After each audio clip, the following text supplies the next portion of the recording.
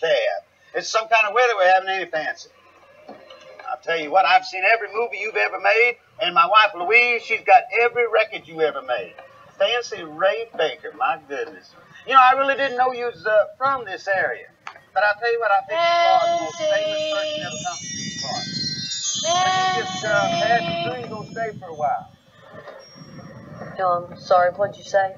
I said, are you uh, just passing through, or you gonna stay for a while? No, I'm just passing through. Louise is not gonna believe this. Fancy Ray Baker in my cab. No, you might want me to wait. This ain't necessarily the best neighborhood. No, I'll be a while. Oh, well, that's no problem. I won't even keep the meter running. Okay, thanks.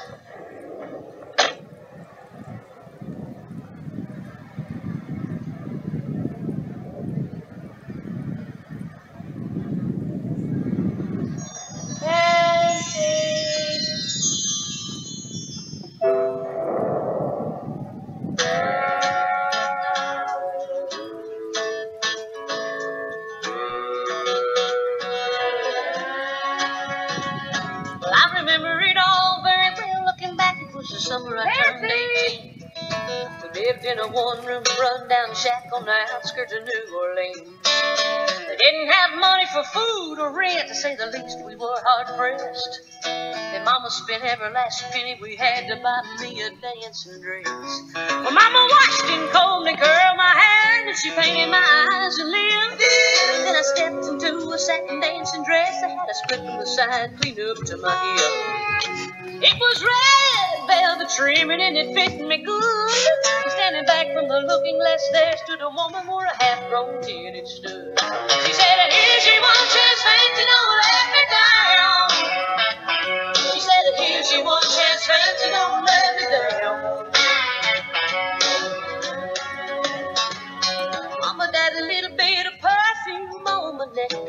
kissed my cheek. And then I saw the tears welling up in her troubled eyes as she started to speak. She looked at a pitiful shack and then she looked at me and took a ragged breath. She said, Your paws runned off and I'm real sick and the baby's gonna starve to death. She handed me a heart-shaped locket that said to thine own self be true. And I shivered as I watched a roach crawl across the toe of my high heel shoe. It sounded like somebody else who was talking, asking, Mama, what do I do? She said, just be nice to the gentleman, Fancy. They'll be nice to you. She said, here's your one chance, Fancy, don't let me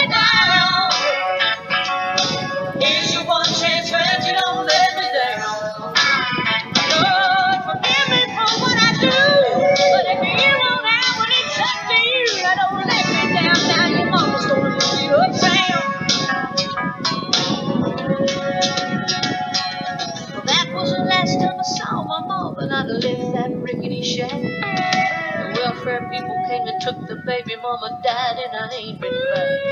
But the wheels of fate started to turn, and for me there was no way out.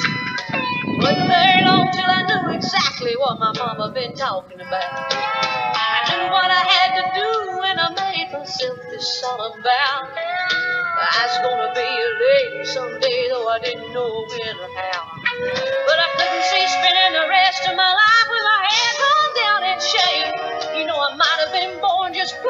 Trash, but Fancy was my name. She said, Here's your one chance, Fancy, don't let me down. She said, Here's your one chance, Fancy, don't let me down. Wasn't long after a benevolent man took me in off the streets.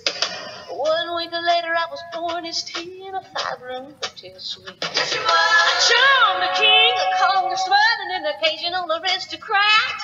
And then I got me a Georgia mansion in an elegant New York townhouse.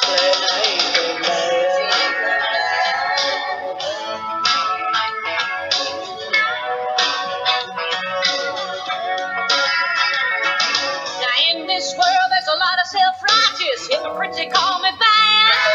They criticize mama for turning me out no matter how little we had. But though I ain't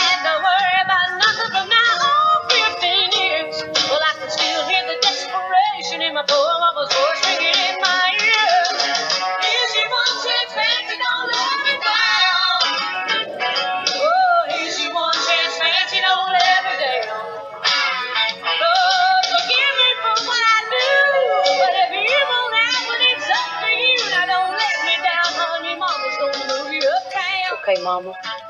I understand.